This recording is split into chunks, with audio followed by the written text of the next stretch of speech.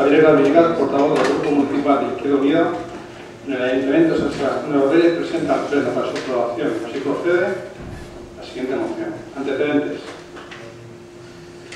El pasado 7 de julio se reunió la mesa de contratación, adjudicando el contrato de servicio del montaje del vallado de los encierros de San Sebastián de los Reyes durante las fiestas en honor al Santísimo Cristo de los Remedios de Vida. Contrato 11 barra 1 de la mesa de con una cantidad no desdeñable de 66.699,50 euros. Esta función históricamente la venían realizando nuestros operarios municipales, con unos resultados más que otros siendo un referente de los encierros de San Sebastián de los Reyes dentro de la Comunidad de Madrid y en el conjunto del Estado español.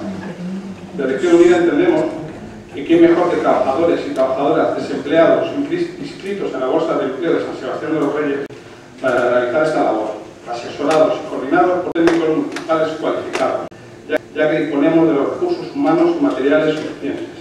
Al mismo tiempo, creemos que si lo que se prima son parámetros económicos, al ayuntamiento le saldría más económico que este cometido lo realizara personal desempleado, contratado a efecto, además de los réditos sociales y de creación de empleo que esta medida tiene.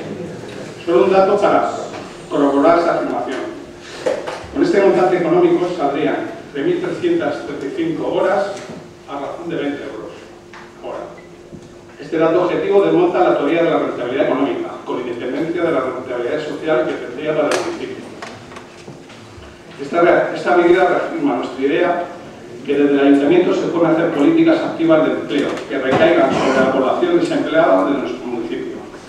Por todo ello, el Grupo Municipal de Izquierda Unida propone la siguiente moción.